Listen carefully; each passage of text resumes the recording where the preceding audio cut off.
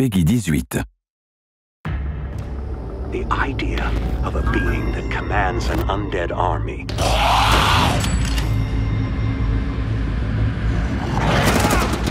How do you protect America? How do you protect the planet?